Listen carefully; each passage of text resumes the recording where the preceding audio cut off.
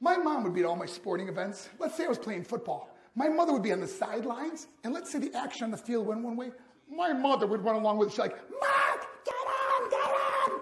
I'd be like, oh my gosh. I'd be on the field, we get in the huddle with the guys. They go, Mark, is that your mother? I go, no, I never saw her before in my life. but uh, seriously, some of you guys can relate to that. Uh, my mom, she really empowered me to become special in sports. See, the greatest gift my mother ever gave me, she believed in me. I've overdosed on drugs on three occasions where I should have been dead, but I believe I was kept here for a reason. You show me your friends, I will show you your future. How do I know this? Because I hung out with losers, I became the biggest loser of them all because I gave up everything I dreamt about as a little boy because of who I chose to surround myself with. My friends would drive me home at 2, 3, 4 in the morning. We'd be drunk and high in the car. We'd, we'd pull up in front of my house. My buddies would go, Mark, Mark, Mark, the light's on. I go, oh man, my mother's up. See, my mom wouldn't go to bed until she knew her son was still alive. I'd walk in, she'd say, Hi, Mark, how was your night? I goes, Good, Mom. I'm just going to go to bed. She goes, can I, can I talk to you just for a minute? I go, Mom, I'm tired. I'm just going to go to bed. She goes, Mark, I haven't seen you all day and all night. Can I please talk to you? I go, Man, just leave me alone. You bug me. I'd slam my bedroom door on the one person who believed in me. I was on a worldwide tour and I was wrestling overseas in Japan. After my wrestling match, I went upstairs to my hotel and I fell asleep.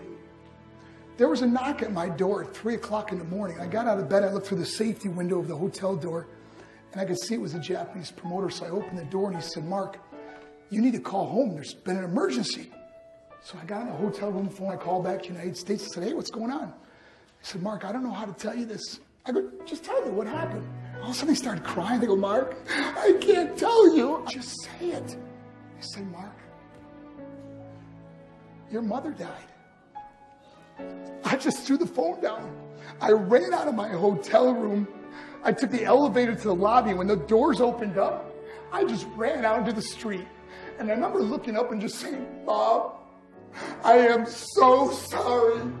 I flew home for her funeral and I was so nervous to walk up to her casket. So I just stood way in the back. I remember just kept thinking to myself, I'm like, Mom, please wake up. Please get up.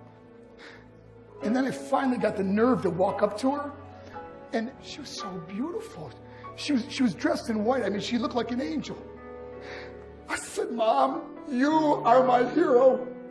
Everything I am, everything I hope to be was because of you. You loved me so much. You gave me a life. You work two jobs.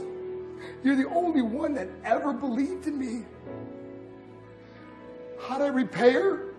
By getting drunk? By getting high? By getting stupid? By hanging out with losers? For what? All she ever wanted to do was talk to me. If you have a mother or a father, tell them how much you love them. See, my whole life was about being rich and famous. That's all I cared about. I had to win the race. I had to win the race at the expense of my marriage, my family, my friends. For what? To be all alone in this world? That's not how it's intended to be. Life is not about winning the race. Life is about finishing the race and how many people we can all help finish this race. How we can start being kinder to each other. How we can help the students that are going through adversity right now. How we can stop with the name calling and hurting other people. Because in the end, it may be you that needs help to finish the race. Because I learned what is truly important, and that is how precious this gift of life is and how quickly it can be taken away.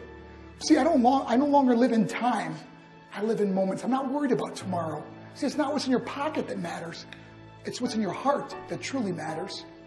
Love, love is just a word until somebody comes along and gives it meaning. You are the meaning.